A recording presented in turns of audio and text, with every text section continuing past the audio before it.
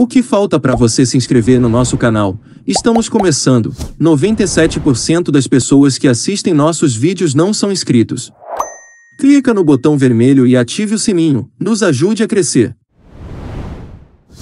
Júlio César da Silva Gurjol, nascido no Rio de Janeiro, no dia 3 de março de 1956, mais conhecido por Júlio César Uri Geller, é um ex-jogador brasileiro, com nacionalidade argentina.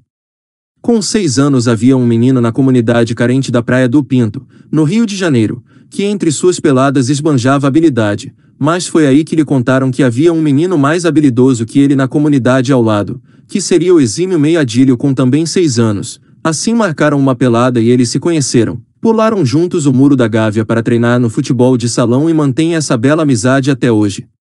Peladeiro nas horas vagas, Júlio ganhava uns trocados vendendo amendoim e estacionando carros, mas uma muralha o afastava do futuro.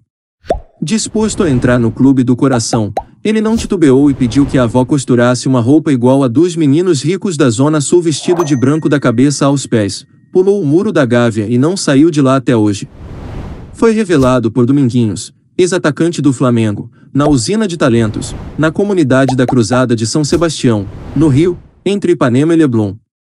Naquela favela de cimento amado, também foram revelados outros craques, como Rui Rei, Antunes, Hernani, Adílio e Paulinho Pereira. Todos costumavam jogar bola também na Praia do Pinto.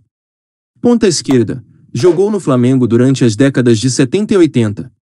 Se autodenominou o Uri Geller por acreditar na sua capacidade de entortar os zagueiros adversários com dribles desconcertantes, como supostamente fazia com colheres o célebre ilusionista israelense homônimo, durante a década de 70. Entre 75 e 81, vestiu a camisa do Flamengo em 131 jogos, 91 vitórias, 27 empates e 13 derrotas. Júlio César marcou 8 gols, mas seu verdadeiro mérito eram os cruzamentos que perpetuaram em centenas de gols. Participou das conquistas do Campeonato Carioca de 78, 79, 79 especial e do Campeonato Brasileiro de 80. Eu não era sócio, eu pulei o muro do clube e estou até hoje lá dentro. O Flamengo é a minha vida. O Flamengo me deu a oportunidade de eu vender amendoim na porta do clube. Depois me deu a oportunidade de jogar nas categorias de base até chegar no maior time da história. Se não fosse o Flamengo, não teria nenhum sentido para mim, disse. Depois disso, Júlio César também atuou no Grêmio e no futebol argentino. Atuou no clube do Remo de 77 até 78, quando retornou ao Flamengo. Jogou também pelo Fortaleza Esporte Clube, no qual se sagrou campeão cearense. Em 1990, após encerrar a carreira, fez o curso de Educação Física para ex-jogadores pelo CREF do Rio de Janeiro. Ele é professor no Centro de Futebol Zico desde a sua fundação. Além de trabalhar para seu grande amigo Zico, Júlio César também costuma bater uma bolinha nos veteranos do Flamengo ao lado de Adílio, Gilmar Popoca, Leandro, Adalberto, entre outros. É casado com Isabel Jarque Pena, com quem tem quatro filhas, Juliana, Leandra, Rani e Roberta. Pela seleção brasileira, Júlio César participou da equipe que venceu o torneio pré-olímpico em 76, ano em que a mesma seleção ficaria em quarto lugar nos Jogos de Montreal.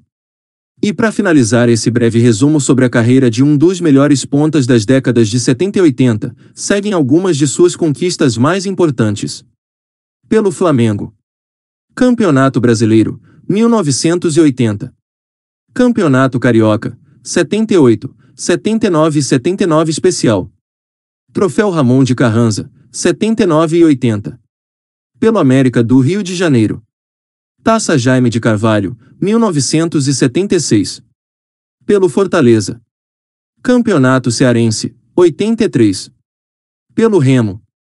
Campeonato Paraense, 77 e 78. E foi isso galera, não se esqueça de se inscrever no canal e deixar o seu like para ajudar nosso trabalho. Ajude também compartilhando o vídeo com seus amigos e ative o sininho para receber notificação de novos vídeos.